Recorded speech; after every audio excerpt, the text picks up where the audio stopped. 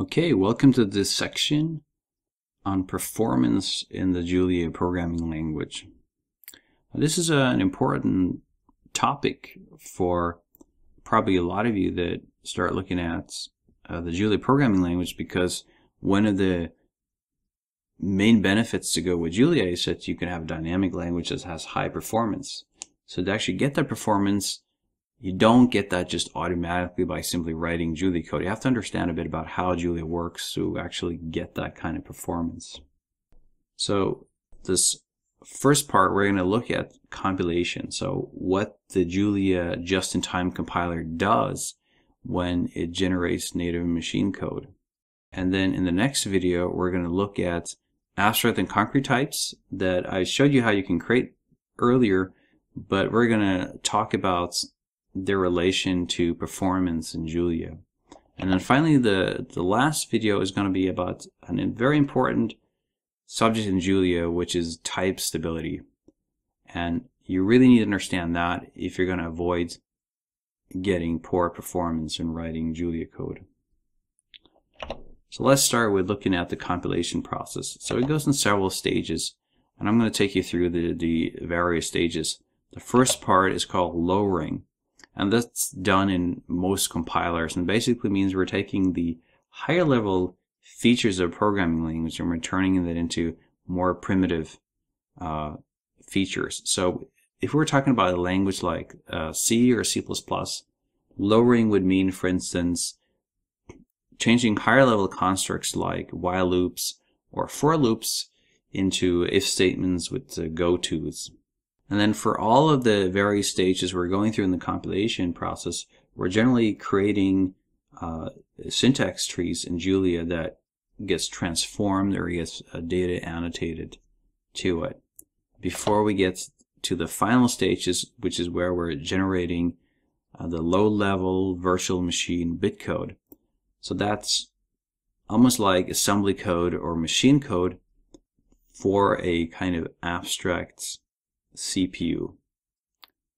It's at a much lower level than something like the Python bytecode or the Java bytecode. So it's a, a short step from that into the actual native machine code.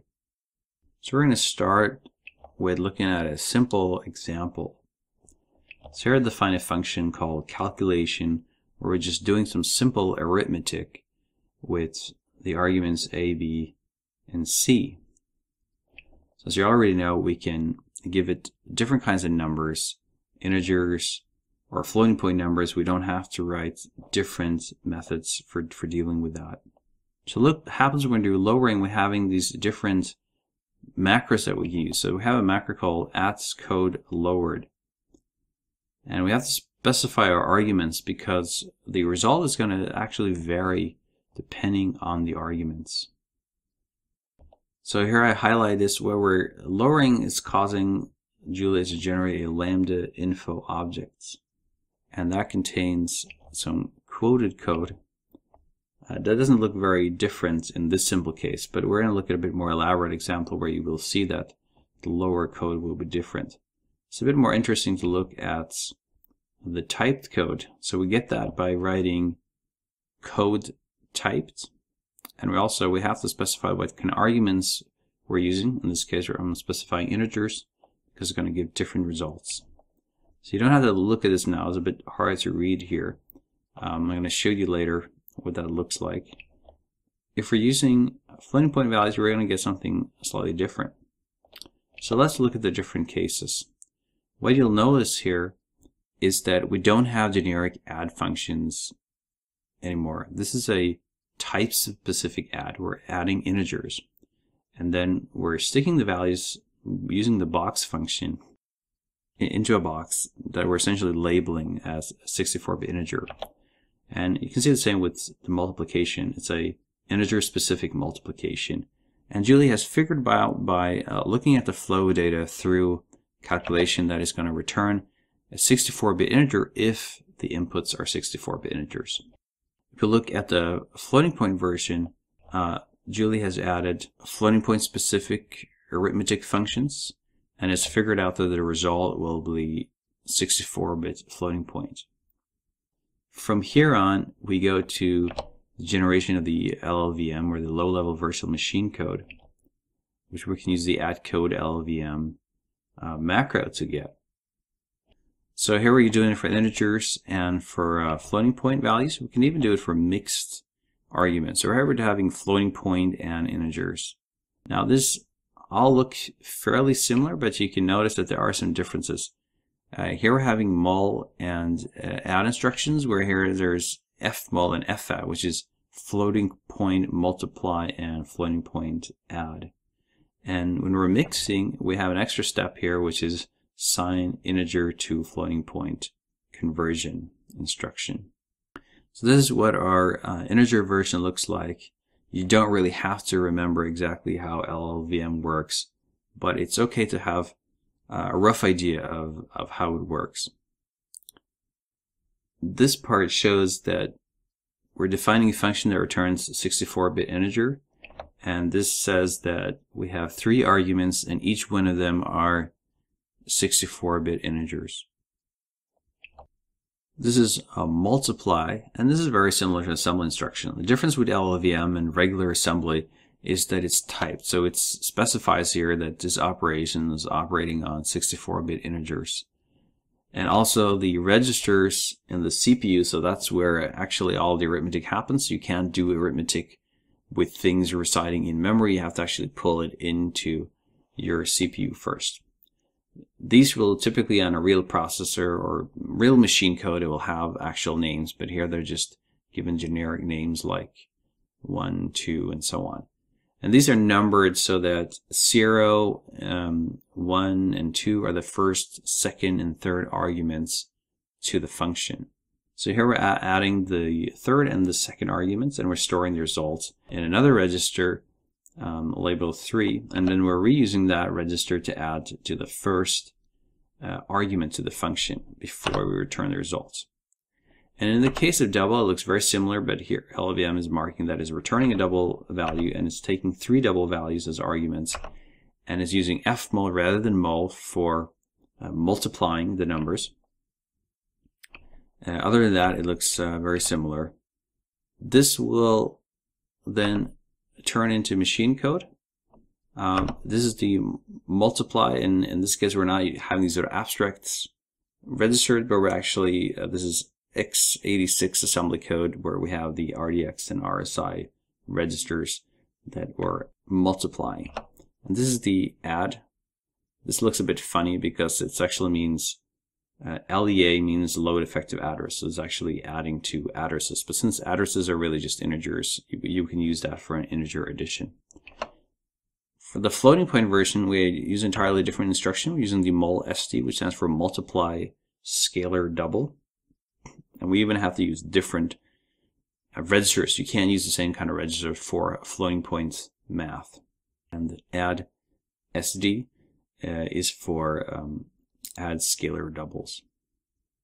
So what I think is interesting with uh, you just seeing this example is that you can't imagine that you can really get this any more efficient than this. This is very little machine code generated.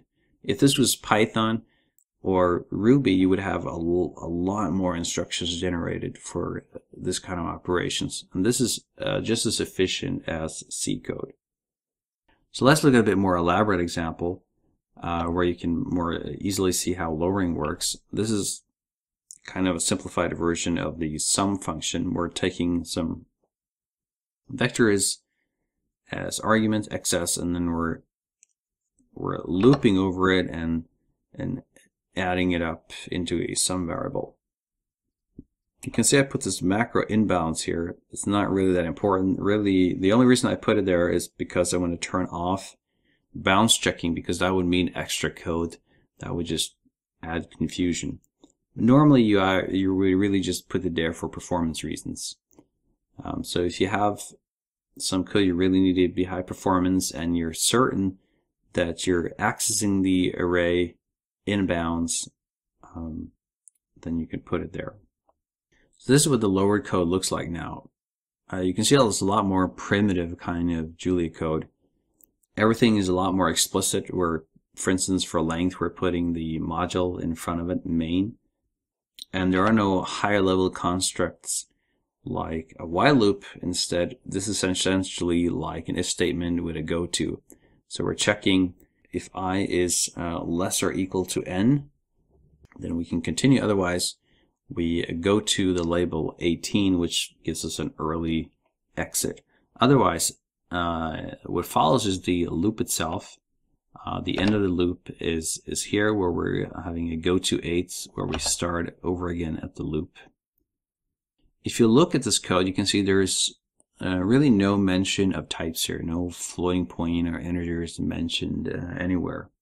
For the typed code generation, uh, we get annotated with types. So Julia has figured out by looking at the flow data or uh, how the data flows through the various variables in the instructions uh, in the function, it has figured out that the n is a 64-bit integer, and it has figured out that uh, when we're calculating sum, we're using an integer, uh, which use integer add, and the same goes for the index.